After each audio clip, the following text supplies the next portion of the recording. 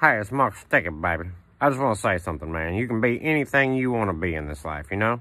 You just got to be it. You know what I mean?